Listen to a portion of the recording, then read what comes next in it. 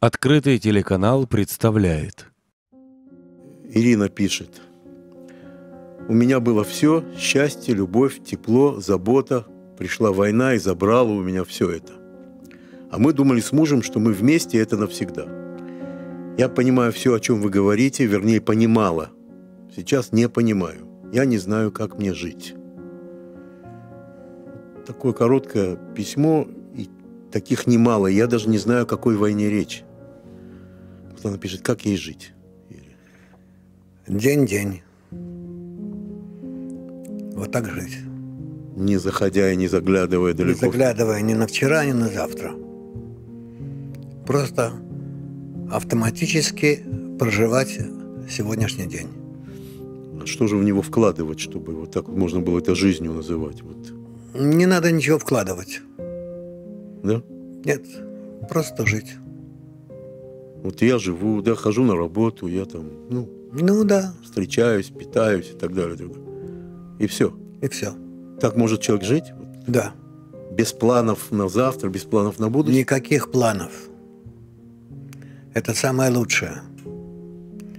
Тогда не будет разочарований и ожиданий.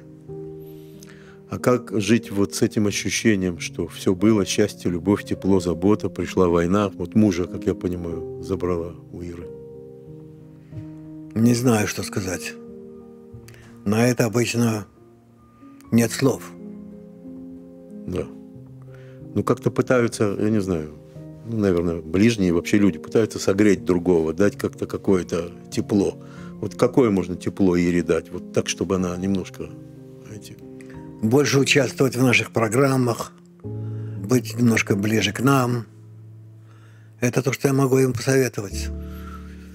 Ира при этом, я не думаю, что она наша ученица. Вы понимаете, она просто наша зрительница. Ну, она явно нас смотрела, она пишет, я понимаю все, о чем вы говорите, вернее, понимала, а сейчас не понимаю. Вот когда у человека такой удар, он вдруг, знаете, Все равно не отдаляться от нас.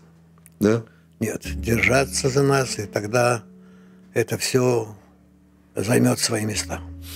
Вы говорите, и я чувствую, она это слышала в ваших лекциях и выступлениях, и вообще во всем, что надо принимать то, что приходит к тебе. Да. Ничего не сделаешь. Вот за этим словом «принимать», только скажите, что за этим словом «принимать» вот для Иры? Все, что происходит, происходит свыше, и мы должны с этим все-таки согласиться. Согласиться. А что еще сделаешь? Очень горько, и все время мысли сбиваются на старое. На то, что было. Да, И было хорошо, и тепло. да, и те же вопросы, почему. Да. Но лучше всего это войти в обычную жизнь. Попытаться действовать автоматически. Даже вот так на автомате проживать. Да, да, да. И что произойдет, если так я буду жить? Вот если я послушаю вашего совета. Вот. Я потихоньку привыкну к тому, что так должно быть, день за днем. И все. А вот это понимание новое, счастья нового, новой жизни, оно придет вот так, если потихонечку вот так вот двигаться, Ну, оно не придет такое уже счастье, но сгладится. сгладится. Вот скажите, для чего это дается человеку? Вот я все время как-то пытаюсь, чтобы Ира нас услышала. Чтобы в первую очередь он оправдал то, что происходит.